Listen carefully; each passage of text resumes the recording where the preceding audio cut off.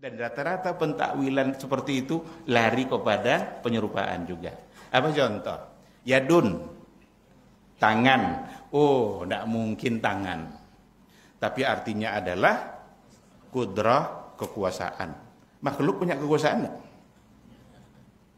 Berarti sama artinya?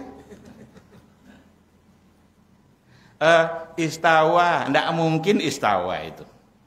Karena kalau istawa itu sama dengan makhluk. Maka artinya istaulah. Istaulah itu artinya menguasai. Makhluk menguasai enggak? Itu sama tuh.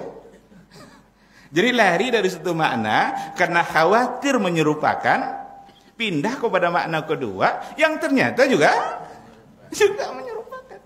Maka yang selamat itu memang apa yang diyakini oleh Rasul dan para sahabat. Tanpa takwil, tanpa mencoba menyerupakan. Karena jelas ayatnya, laisa kamitslihi syai'un wa huwas samiul basir. Maka usaha pentakwilan ternyata tidak terlepas juga dari dari tasbih penyerupaan. Bahkan takwil itu asasnya sesungguhnya adalah karena dia sebenarnya sudah menyerupakan Allah dengan makhluk. Padahal laisa kamitslihi syai'un. Tidak boleh sama sekali diserupakan. Karena dia khalik dan selainnya adalah makhluk